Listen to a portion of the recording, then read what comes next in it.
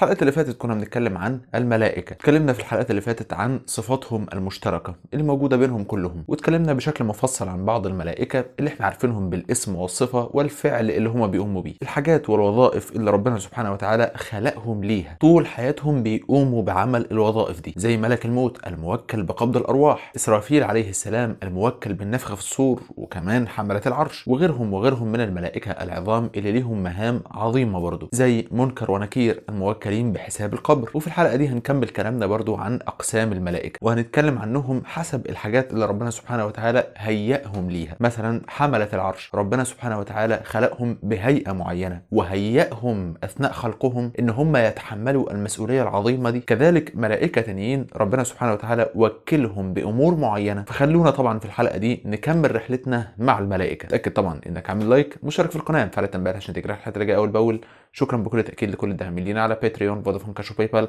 دعمكم لنا طبعا بيخلينا نستمر في انتاج وصناعه المحتوى كمان شكرا لكل المنتسبين على القناه اللي عملوا كان طريق زرار جوين اللي موجود جنب زرار سبسكرايب ومش عايزين نطول كتير خلينا الحلقه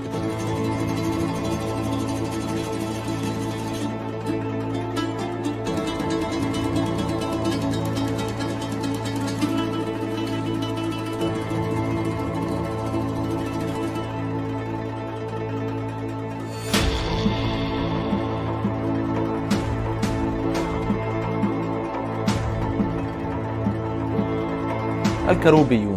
ملائكة ذكرهم الحافظ ابن كثير في كتابه البداية والنهاية ده الاسم أو اللقب اللي أطلقه ابن كثير عليهم في الكتاب وإن كان اللفظ ده غير متفق عليه من العلماء لأن مفيش حاجة معينة من القرآن أو السنة بتثبت اللفظ ده كلمة الكروبيون لكن طبعا خلينا نتجاوز مسألة الاسم لأن احنا دلوقتي بنتكلم عن الملائكة المقربون الملائكة اللي موجودين حول العرش واللي طبعا من ضمنهم حملة العرش وهم أشرف الملائكة نظرا لأن الله سبحانه وتعالى قرر إن دول اللي يكونوا قريبين من منه بالشكل ده قال تعالى لن يستنكف المسيح أن يكون عبدا لله ولا الملائكة المقربون وقال تعالى وترى الملائكة حافين من حول العرش يسبحون بحمد ربهم وقضي بينهم بالحق وقيل الحمد لله رب العالمين وقال تعالى الذين يحملون العرش ومن حوله يسبحون بحمد ربهم ويؤمنون به ويستغفرون للذين آمنوا ربنا وسعت كل شيء رحمة وعلما فاغفر للذين تابوا واتبعوا سبيلك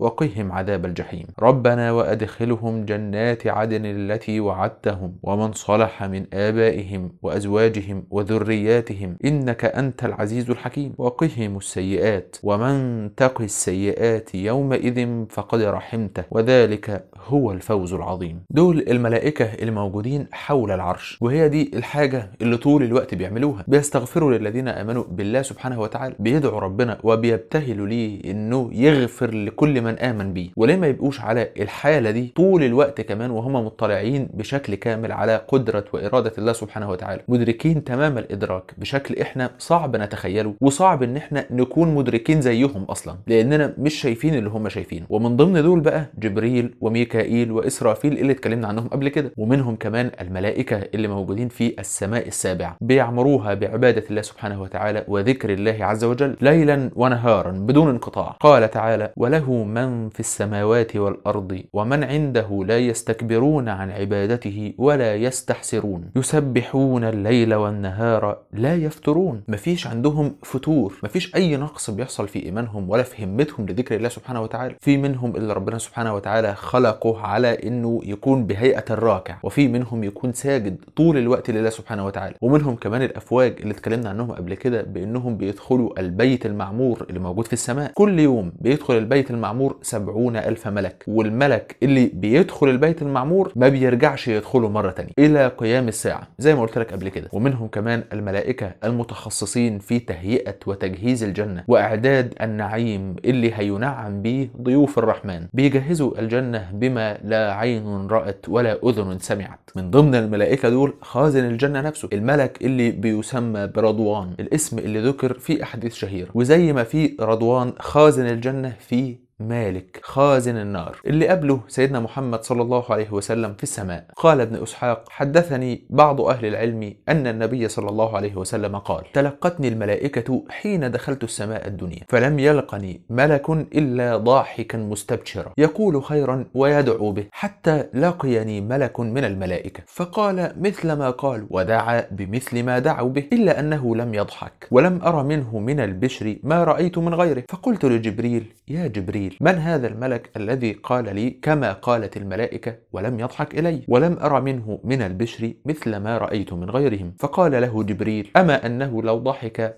إلى أحد كان قبلك أو كان ضاحكا إلى أحد بعدك لضحك إليك ولكنه لا يضحك هذا مالك صاحب النار الملك اللي بيعينه في إدارة شؤون جهنم وإدارة شؤون النار زبانية جهنم اللي وصفهم ربنا سبحانه وتعالى بالغلظة والشدة قال تعالى يا أيها الذين آمنوا قوا أنفسكم وأهليكم نارا وقودها الناس والحجارة عليها ملائكة غلاظ شداد لا يعصون الله ما أمرهم ويفعلون ما يؤمرون وعايزك تاخد بالك كده من حاجة لما تيجي تقرأ القرآن الكريم لما ربنا سبحانه وتعالى يوصف حد حد بصفه معينه بشكل مباشر بيكون هو ده الوصف اللي موجود فعلا بدون اي مبالغه احنا بنتكلم على قول الله سبحانه وتعالى فلما ربنا سبحانه وتعالى يوصف الملائكه دول بالغلظه والشده يبقى هم فعلا بيتصفوا بالغلظه والشده مش الغلظه والشده اللي هم نص نص او كده وكده يعني لو انت عاوز تتعرف على معنى الغلظه والشده لازم تشوف الملائكه دي ربنا سبحانه وتعالى يرحمنا وما يخليناش نطلع عليهم اصلا وفي من ضمن الملائكه المكلفين بجهنم الملائكه اللي بيكذبوا جهنم اتكلمنا عنهم في حديث قبل كده لما اتكلمنا عن وصف جهنم ان ليها سبعون ألف زمام لكل زمام سبعون ألف ملك وطبعا قدام في أمارات الساعة وأحداث يوم القيامة هنتكلم طبعا عن وصف جهنم بكل تأكيد طيب في مين بقى من الملائكة تاني في عندنا الملائكة الموكلين بحفظ البشر قال تعالى سواء منكم من أسر القول ومن جهر به ومن هو مستخف بالليل وسارب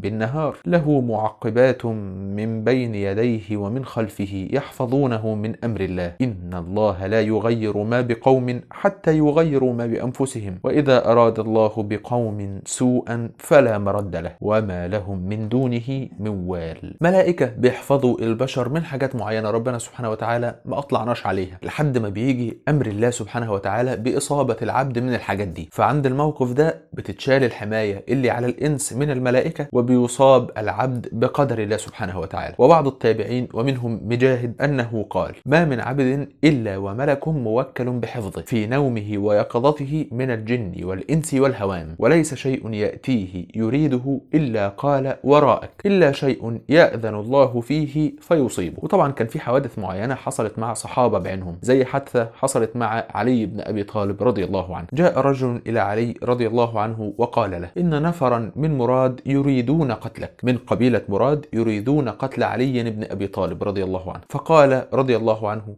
إن مع كل رجل ملكين يحفظانه مما لم يقدر فإذا جاء القدر خليا بينه وبينه إن الأجل جنة حصينة طيب في مين تاني من الملائكة في الملائكة الموكلين بكتابة وحفظ الأعمال بيدونوا كل ما يقوم به العبد قال تعالى ولقد خلقنا الإنسان ونعلم ما توسوس به نفسه ونحن أقرب إليه من حبل الوريد إذ يتلقى المتلقيان عن اليمين وعن الشمال قعيد ما يلفظ من قول إلا لديه رقيب عتيد مستعدين ومتهيئين إنهم يحصوا ويعدوا الأقوال والأعمال قال تعالى كلا بل تكذبون بالدين وإن عليكم لحافظين كراما كاتبين يعلمون ما تفعلون فالملائكة موجودة حوالينا في كل مكان بيحمونا من حاجات معينة بإذن الله طبعا سبحانه وتعالى وبيحصوا كل شيء إحنا بنكتبه وبيقوموا بمهام في الكون كله لكن ربنا سبحانه وتعالى حجب رؤيتنا عنهم ما نقدرش ان احنا نشوفهم وخليني اقول لك برضو ان دي كانت اخر حلقه لينا مع الملائكه وده كان اخر فصل